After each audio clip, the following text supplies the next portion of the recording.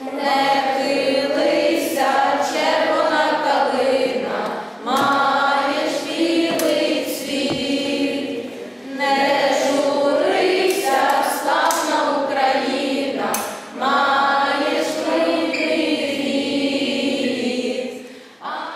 Ukrán nyelven énekelnek azok a gyerekek, akiket testvérvárosi együttműködés keretében táboroztatnak Nyíregyházán.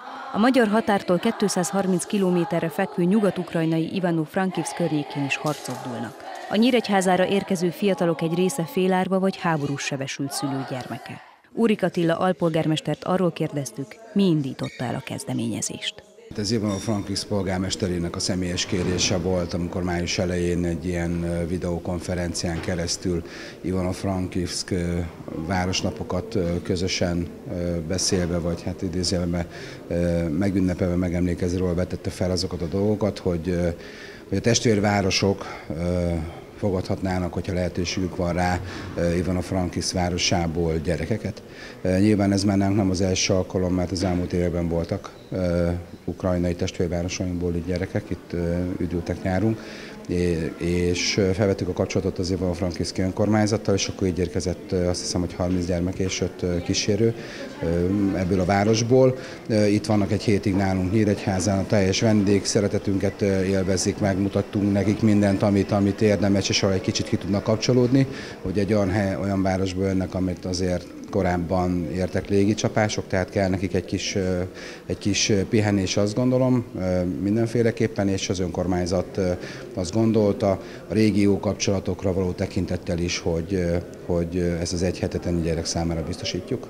Az ukrán nemzetiségi önkormányzat folyamatosan segíti a polgármesteri hivatal munkáját a szervezésben. Minden napra biztosítunk tolmács, tolmácsokat, kettőt, egyet délelőtt, egyet délután, és két napot Mária Pócsi utazást, azt szeretnénk besegíteni, meg tervezni az ukrán ajkó András atyát felkértük, hogy a gyerekekkel foglalkozzon, és szeretnénk részt venni és segíteni a vasárnap est, búcsú est megszervezésében, hogy a gyerekek egy magyar bográcsot és kóstoljanak meg, és legyen élményük az elkészítéseiben.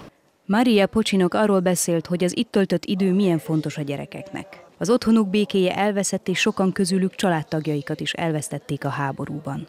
Ennek a feldolgozása nem egyszerű, és éppen ezért hálásak, hogy itt lehetnek.